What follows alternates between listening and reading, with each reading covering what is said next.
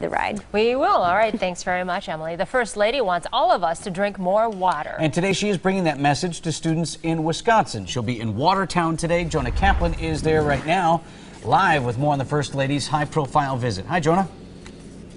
Hey, good morning, Vince. Good morning, Susan. Pleasant good morning, everyone. Things actually starting to heat up already. We had the police captain here scouting out the area. We've got people setting up in time because obviously we got the First Lady coming. Got to give her a very warm welcome. And we're giving a warm welcome also to the mayor here in Watertown, John David, who's going to be up on the podium today with uh, Mrs. Obama. And, Joe, we were talking earlier about the history of water in this town. That's why it's called Watertown. But this place also kind of has a different industry, kind of using water, but maybe not exactly. Uh, all about it. Well, we've got a couple of different uh, soda bottlers in, in our city.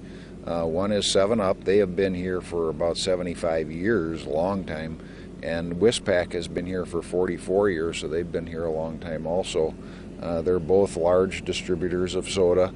Uh, but another aspect of their business is the distribution of bottled water, and uh, they both uh, really distribute a large volume of water uh, 7 Up last year, they uh, sold over 35,000 cases of water.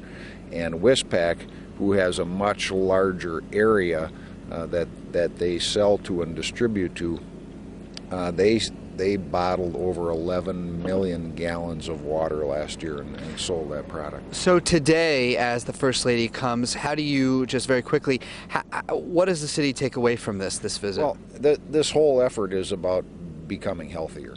And our city really has been in the forefront of that for, you know, well before this effort here is coming to Watertown.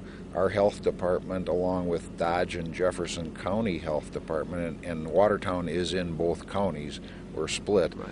Uh, they they have formed a partnership called the Dodge Jefferson Healthier Community. So this whole effort has fit right into what we're already doing. Wonderful. Well, Mayor, thanks for waking up early with us. I know you got a big day ahead. And coming up later, we've got the director of the Chamber of Commerce here to talk more about what this means for business. Michelle Obama's visit, that is. So here in Watertown, Jonah Kaplan for today's TMJ4. All right, Jonah, thank you. The mayor strikes me as an early riser anyway. Yeah, sure. Yeah, thanks Not for a big deal.